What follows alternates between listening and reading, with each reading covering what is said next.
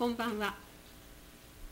12月1日しゃべくり松代第214回です。12月の声を聞きますと、えー、天気予報には、えー、長野県北部は明日から雪マークがついておりました、えー、いよいよ冬がやってまいるようです、え寒くなる前にといろいろ皆さんも慌てたことがあったんじゃないでしょうか。それでは今日のしゃべくり松代はえこの松代を拠点に活動しています混声合唱団コーロスアーベが30周年を迎えたということで3人の方にお越しいただいております。30年間指導してこられました鳥海和美先生です。よろしくお願いします。それから最初から会員になっておられて30年続けてこられました原富照さんです。よろしくお願いします、そして、えー、いろいろな役割を持って、えー、役員の方たちが、えーと、やっているわけなんですけれども、えー、昨年今年度と事務局次長を務めておられます戸谷睦さんです。お願いいたします、えー、私も実は混声合唱団コーロサーベ30年間の会員でございますので私も含めまして皆様にいろいろなお話をしたいと思います。どうぞよろしくお願いします。まず30年を迎えてということでえ先生どんなお気持ちかお聞かせいただきたいと思います、えー、あっという間の30年でしたね、えー、もう本当に団員の皆さんに支えられてあのここまでやってこれたなと。感慨深いものがあります。本当に感謝の気持ちでいっぱいです、はい、ありがとうございます、えー、何しろあの変わらないのは鳥海先生って本当にあのえー、私たちは30年で年を取りましたけれども いつまでもお若い先生です、はい、それから30年間会員でおられた原さんいかがでしょうか、えー、私も先生と同じ考えるとですね、はい、あの当初104人でしたかね、はい、えー、なかなかあの登録はされてるんですけど実際に練習に行ってみたら男性は本当にわずかで、えー、3 3か月2か月3か月あたりからもう男性2人きりあと女性が89人とか90人とかという状況でなんとか1年頑張ってこれたということがありましてその後練習の後1年経ってから先生から、えー、練習の後は反省会をしようというふうに言ってくださいまして、えー、その反省会もただ反省会じゃなくて、えー、新しいメンバーが来たら、えー、お酒を入れながら歓迎会をしようよというような話から、えー、だだんだん男性も増えてきたというような経緯があります。それからその当初あの先生とお話した時になんとかこういう活動があライフワークになるといいねというふうに言われましてそれがものすごい刺激になりましておかげで今も続いておるということで実はあの鳥の海先生も今奥様が伴奏者で、えー、いらっしゃいますし原さんも実はご夫婦で入っているご夫婦会員です、えー、私どもとしては非常にあの羨ましくいつも思っています。それでは、えー、30年間というといろいろなことがありましたけれども少し振り返ってみたいと思います。えー、まずあの今もお話あった通り、えー、練習104名だったけれどもほんの、まあ、その何人かが来たということでで練習は当初、えーと、まず昭和58年12月に発足しまして、えー、練習は月1回ということで始めましたよね。でその月1回の練習だったので、えー、コンサートも他の毎週練習しているところの合唱団のように、えー1年に1回ということはできなかったんですが第1回のコンサートが61年の2月に行われています。でそれが、えっと、今サンホール松代農業会館ですけれどもあそこで行った時の思い出はいかがでしょうか原さん。えーと、これは忘れられませんね。えーと、サンホール松代の2階のあの大ホールにはピアノがないんですそれであの松代古民家のあの体育館のステージの上にグランドピアノがありましてこれはあの米山さんにお願いしまして、えー、古民館でばらして足を全部取ってですね、えー、ばらして軽トラへ移してそれで、えー、サンホールまで運んでサンホールの2階まで男性陣みんなで担ぎ上げたと。で上げてからまたあの足をつけまして調律し直して演奏会をやったということでこればっかりは忘れられない、あのいいい思いですね。そうですね。ねそうですね。えー、その当時は今の松代文化ホールがありませんでしたから、まあ、3ホールが一番あの適当な会場だったんだと思います。で第2回目がその松代文化ホールができまして、えー、7月に小倉渡しが行われその直後にセカンドコンサートを行いましたがその文化ホールのこけら落としでも豊臣先生が作られた歌を歌いましたので先生その辺の話を。そうですね待望の文化ホール。あのー、本当に大勢の方々が、えー、待ちに待った文化ホールができるということで、えー、感動とともにという曲を作りました、えー、それをこけら落としの時に、えー、町民の方々がサプライズでこけら落としの式典の途中でステージに上がらせていただいて、えー、全員で歌ったと。お客様方から、えー、長野県内たくさんのホールがあるけれどもホールに歌があるっていうのも初めてですしこけら落としに、えー、町の人たちが集まって歌を歌ったっていうことも初めてだと。そんなことを言われました。いい思い出になっております。この歌ですね。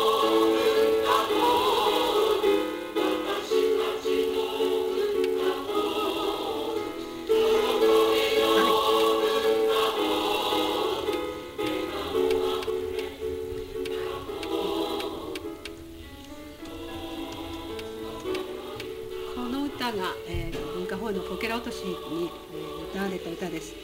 それからえ、そのセカンドコンサートが平成元年の7月に行われて平成2年の10月からは、え、長野市のふれあい祭りに私どもは参加しました実はこの辺のこのふれあい祭りについても豊臣先生の歌が国歌として歌われているということがご縁で私ども参加することになりましたその辺のところは先生いかがだったんでしょうか？はいえーふれあい共和国というふれあい祭り祭りという中に、えー、ふれあい共和国を作ってそこで、えー、障害のある方からない方あみんな揃って、えー、一つお祭りをやろうじゃないかと。そして大統領に、えー、長野市長さんえー、なられたとい。うことで、はい、当時あの柳原市長さんだったんですけれども柳原市長さんからあ国家が欲しいなと。そういうことで触れ合い私がまあそれまでに作ってありました「触れ合い」という歌なんですけれどもそれをこの歌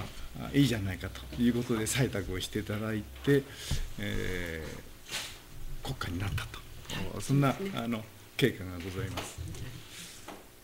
最近のこれふれあい祭りに参加した時の写真がこれです。えもうこれはだいぶ最近です。エッサホイさんも一緒に行ってますのでね。のこんなふうにみんなで歌ってきましたいつもあの記念に市長さんを囲んで写真を撮ってきました、はい、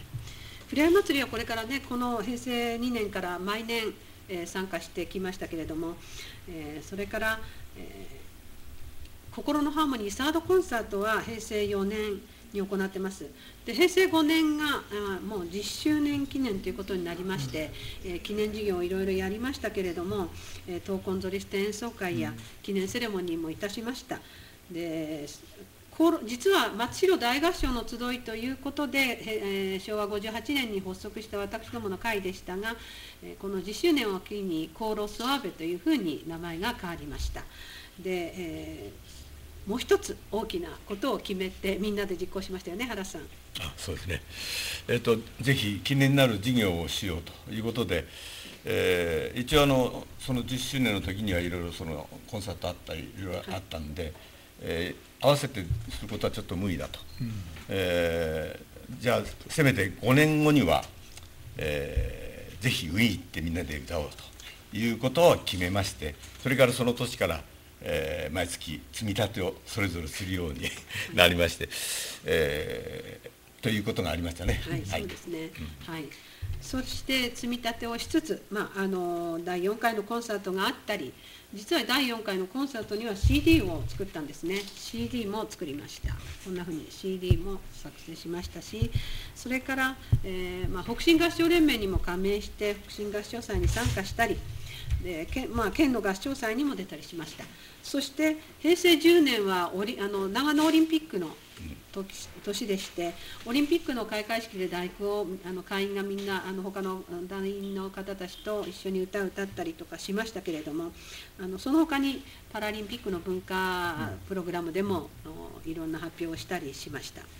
そしてその年の10月にオーストリアへそうですね、行ってその後あの第5回のコンサートが翌年行われていますが、はい、その辺のところ先生。はい。えー、今でも鮮明に覚えておりますけれども、えー、5年間の準備計画をして、えー、シューベルトのドイツミサを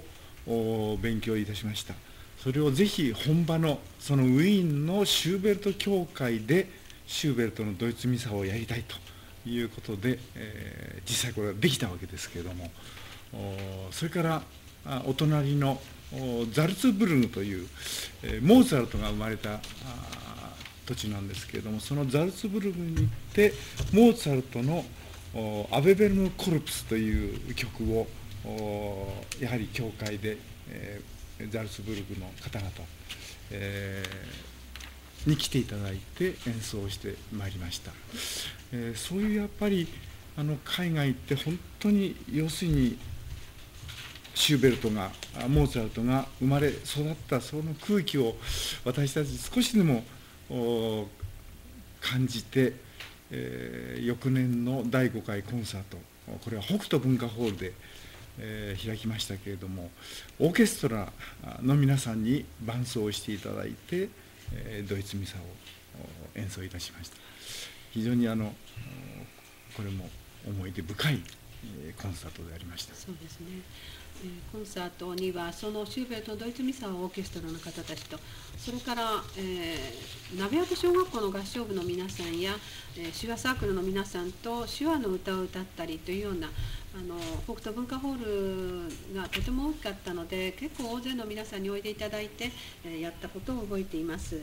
その次のコンサートも実は北斗文化ホールで行いましたしそれが、えー、っと第6回。で第7回が、え実は若里市民文化ホールの方に変わってしまった。で、え第8回はまた松代文化ホール。というふうになってきました、まコンサートはそんなふうになってきましたけれども、え地域のいろいろな方たちといろんなステージもやってきましたけれどあの長野市の社会福祉協議会が主になってあとボランティア国際年の命のシンフォニー2001年の木ここでも、えーと、ステージで先生の歌を歌先生が作られた歌を歌ったんですけれどもその曲について先生。はいえー、市民の皆さんの公募という形で命に関する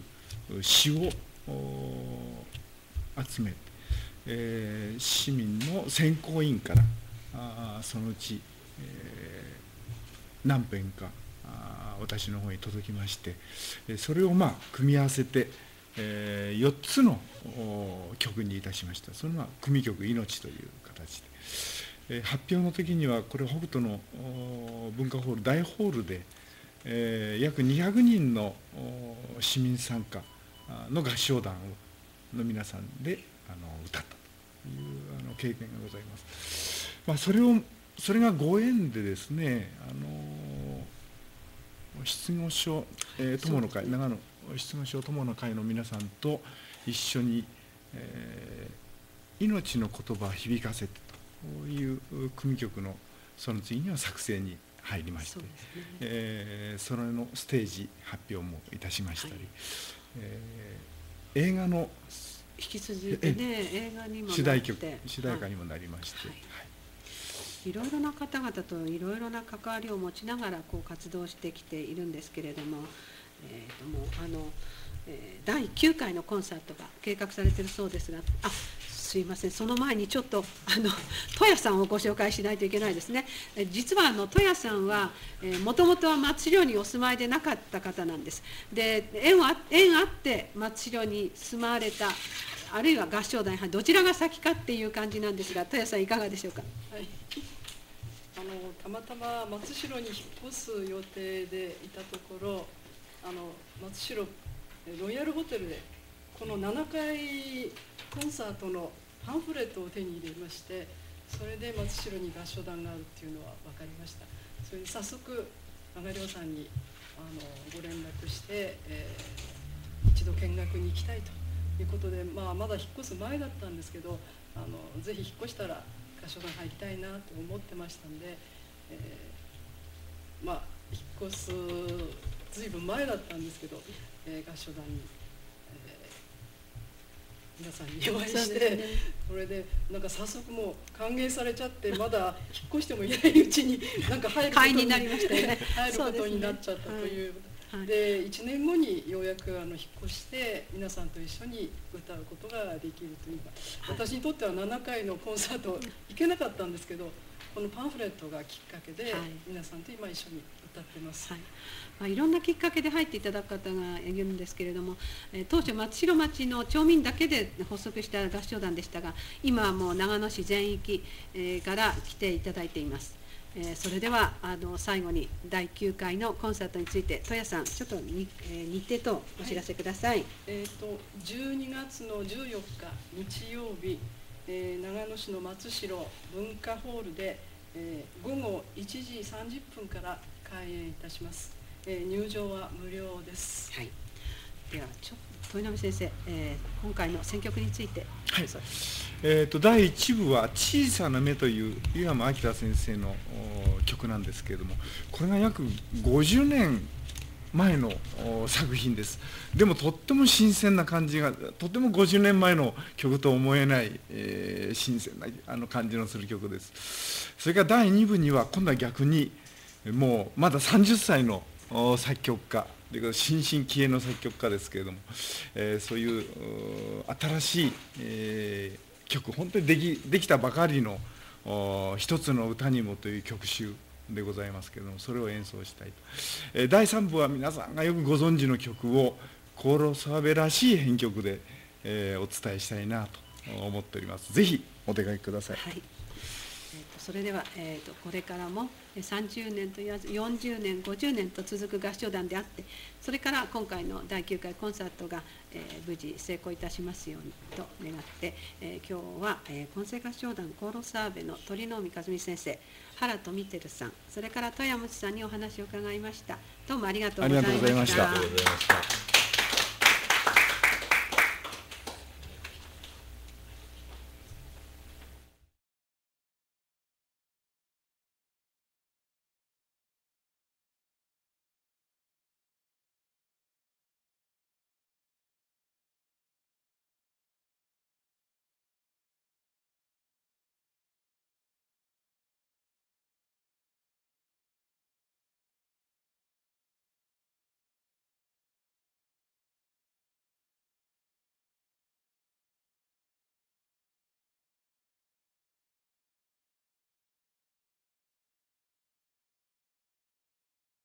コマーシャルいや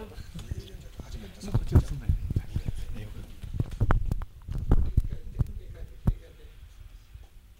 はい三田さんじゃない。ない。あ残念でした。いやご苦労さんでした、はい、ちょっとじゃあね、はい、告知をさせていただきます、はい、えっ、ー、と前回私が担当した時にあの出ていただきました松代音楽祭にあの出演された久保亮太さんですね八代高校3年生ですけれども、えー、王子ホールである王子ホール賞っていうのを受賞してましてねあのピティナピアノコンピティションで、えー、王子ホール賞を受賞されてましてその受賞者の、えー、演奏会が、えー、来年の2月11日に王子ホールであるということです、えー、もしよろしければぜひ聞きに行っていただければと思って皆さんにあのご紹介いたしました。よろしくお願いいたします。よろしくお願いします。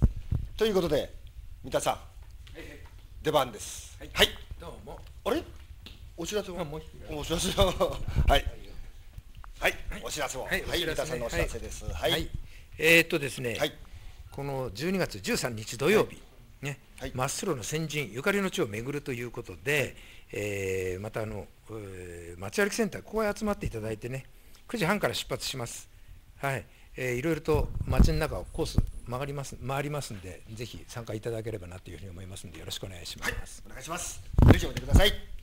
はい、それでは。はい、それでは。はい、来週の予告ですね。はい。はい、えー、来週は私じゃなくてね、宮坂さん、あ、あなたでございますよ。でございます。うん、はい、わかりました。ね、明日来週は何やられるですか？えっ、ー、とね、騙される方が悪いのか、うん、どっちだと思う？ええー、どっちだと思いますか？騙す方が悪いでしょう、えー、騙される方も悪いじゃない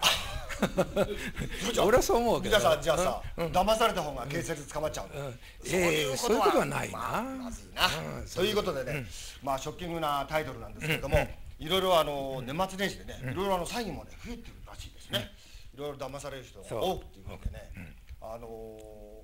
どうしたら騙されないかって分かるの？実はねいやあのね長野南警察でもね、うん、本当にあの洒落たカレンダー作ったんです来年。あそう。えサインがね帽子をかぶってんの、サインが帽子をかぶっててね詐欺防止だって、面白いでしょ。なんか宮坂さんみたいないや警察もねされてますよ。そうかね、うん、素晴らしい。それだけね、あの警察でもね、あの詐欺防止にね、力を入れてるんですあそういうことね。そんなお話でもね、わかりました。とい。うことで、じゃあ楽しみだね。楽しみですよ、騙されないようにね。よろしくお願いしますね。はい、はい。えー、ぜひ来週のしゃべくり町のどうぞお楽しみに。お願いします